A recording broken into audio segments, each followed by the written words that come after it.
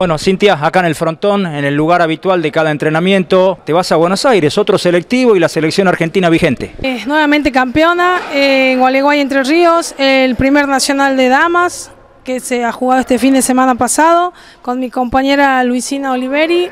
Ella es de Venado Tuerta, eh, una leona dentro de la cancha. Y bueno, nos hicimos muy amigas, muy compañeras y eso también suma a la hora de ganar. Así que no, nos fue bárbaro.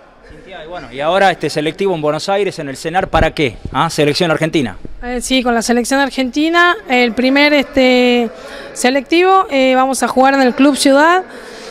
Y esto va a ser para un sudamericano, si no me equivoco, un selectivo para un sudamericano. Y bueno, eh, con miras también a, Santiago de Chile, que va a ser el Panamericano 2023.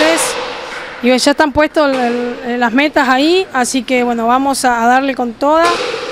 Dios quiera se dé. Eh, porque son muchas las chicas que se presentan, pero bueno, estamos muy bien, venimos bárbaro. No basta con ser campeona panamericana, tenés que revalidar esto año a año. Todo, todos los años, sí, este, con todas, así que bueno, como te digo, no, eh, son muchas las chicas que juegan bien y ellos van seleccionando, eh, te van viendo, van evaluando, el físico y por, por hoy tiene mucho que ver, así que bueno, estamos, estamos con todas las pilas.